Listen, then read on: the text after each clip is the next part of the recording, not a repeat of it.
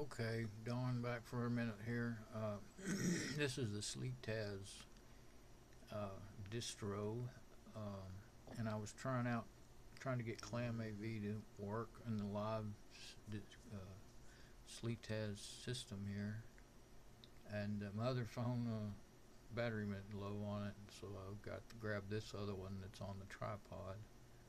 I'm having to hold one leg, so I'm still not completely still. But uh, well, I, I can't. Uh, I had to take my keyboard completely off of the tray to get it to fit. get it to fit. Uh, wasn't quite close enough where you can really see that was a all that black background. It really throws the sensors off on the phone. So um, anyway. Um, it's not going to uh, work. I've got still got both. Uh, I closed the uh, one virus scanner GUI, and it never has auto updated.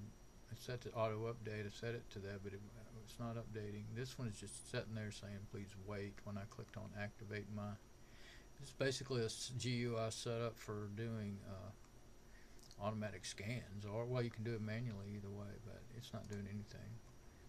I don't know if they'd fight each other, so I'll close this other one now. And uh, go ahead and pick this thing up. Sorry. now, um, it's just sitting there like that. So I'm going to give up on it.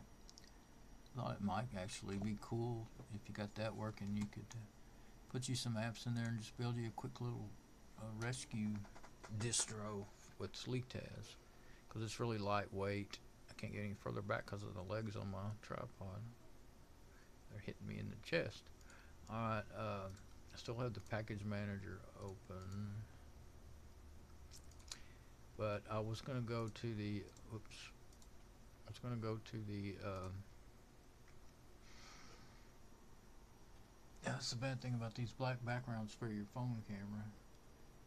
Okay, so there's a little menu that I thought I was showing, but it never was. And uh, I gotta back up here so that I can if I can reconfigure this tripod to where I can back it up a little further. Still doesn't go far enough. No, it's a little, no, that's just far enough. Okay, so what I was gonna do is go into uh, what was it, system, create a live CD. And you gotta type in root. That's the default root password for this system. So, distro name. see if I can get up there. Distro name and uh, based on core and then flavor files. It's a whole lot different. It's got its own stuff. Uh, it may be its own distro. It might not be based on Debian or anything. Maybe like Puppy and Tiny Core and stuff. It may be could be based on Tiny Core though. Very very very well could be. So anyway, uh, I hit forward to see what it does. Is it doing it?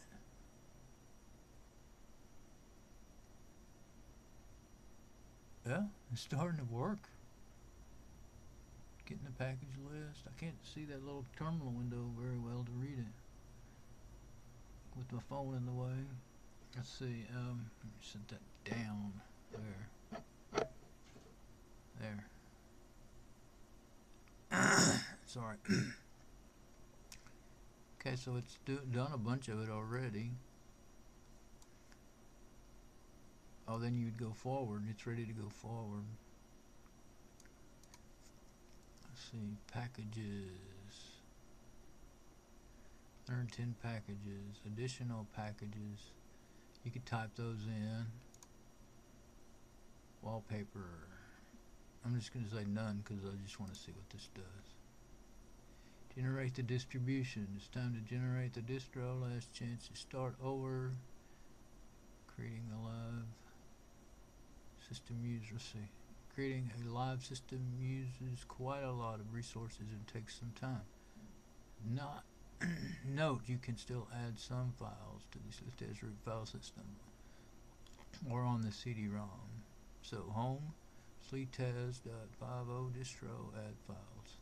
Well, I'm going to hit cancel because I don't want to take time doing all that. Uh, it doesn't, you know, I didn't get my I didn't get my virus scanning to work, so there's nothing on there that I really want that I don't already have somewhere else. So interesting though. So several distros will do that. So what I'm going to do is close that. See over there it says Tux. That's your your standard user, your live user. I don't think you can read that still yet. That's his log out. so log out. I wonder if it'll come up with a question or if it'll just do it. Didn't do anything. Oh, now I must have missed it. Reboot, shut down. I'm gonna say shut down, and I'll just uh, end this video. I need to quit playing and decide what I'm gonna do. Oh, it went straight down. So decide what I'm gonna do about this old hard drive.